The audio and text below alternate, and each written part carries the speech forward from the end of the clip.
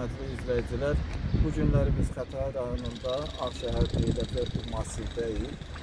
E, maraqlı tərəfi odur ki, dinc sakinlərin bu günləri yaşadıkları mülkiyyətində onlar öz şəraitlərini yaxşılaşdırılması üçün icra hakimiyyəti və icra nümayəndələri gəlib onlara şərait yaratmaqdansa kommunalları, qazı, işığı və suyu kəsərək onların yaşayışını məhdudlaşdırır və məqsəd və məram ondan irəli gəlir ki, hansı ki tikinti şirkətləri ilə razılaşmış şəkildə icra nümayəndəsi və icranın hansı ki e, məmurları onlarla razılaşmış şəkildə vətəndaşları məcbur edirlər ki, dinc ocaqlarını qoyub getsin. Bu nöqteyi nəzərdən də onların evlərini, hasarlarını e, uçurtdurur, qeyri-qanuni olaraq uçurtdururlar ki, bəs e, istənilən məbləğə razılaşasan. Görəsən bu Ağşəhərin hansı ki salan masivi salan şirkətlər əgər ki kvadratını 3000-dən, 5000-dən, 10000-dən verirsə də nədən dinc vətəndaşa 1000 manat verərək onun öz dinc ocağını sakinlərin əlindən alır, sahibkara hündür mərtəbəli ticarət mərkəzi üçün, otellər üçün, yaşayış masivinin salınması üçün icra hakimiyyəti belə maraqlıdır. Yəni Xətainin icra hakimiyyəti daha maraqlıdır. Bu günləri vətəndaş olmadıqda sən Xətayda icra başçısı ola bilmirsən.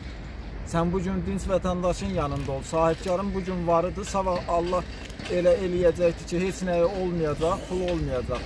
Onda sən onun yanında olmayacaqsan, yenə də vətəndaşa möhtac qalarsan. Çalışıb vətəndaşı incitməyək. Mən e, bu nöqteyi nəzərdən istərdim ki, məsələn, görüntüyə alaq. Baxın, ərazidə Görürüz nə qədər təzə tikililər var, görün nə qədər binalar var. Bu binaların sahibləri görəsən ən azından kvadratını 1000 manatdan verərmi? Verəsidir. Bəs nədən bu cəmaatı incidirsiniz? Nədən bu cəmaatın bu günləri məcbur edirsiniz ki, öz dini yaşadığı ocağını qoysun dəyər dəyməzinə və getsin qıraqda o qiymətə heç nə də alamayacaq. Maraqlıdır sahibkarlara lap yaxşı. Sahibkara maraqlıdırsa, vətəndaşla istədiyi miqdar alsın, üstündə 100 mərtəbə tiksin. Pulunu qazansın 10 mindən, 5 min. Yəni vətəndaşın heç olmasa o bir etajı satdığının pulunu vətəndaşa versin də.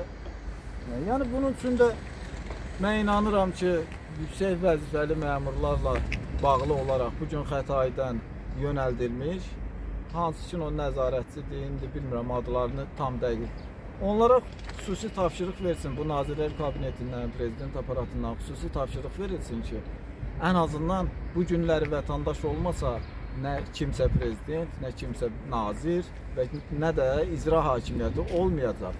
Bunun üçün də çalışıb dinc vətəndaşı məhdudlaşdırmayın, qazını, işığını, suyunu kəsərək, onun ə, e, hasarını uçurdaraq vətəndaşları incitməyin. Yəni bununla bağlı olaraq Prezident mənə elə gəlir ki, və baş nazir özü tədbir görəcək və Xətainin icra başçısına da ən azından yerini tanıtdıracaqlar ki, get otur otağında dinc sakinlərin problemləri ilə məşğul ol. Sən iş adamınla sənin nə münasibətin olar? Ya biznesmensən, gəl bizneslə məşğul ol.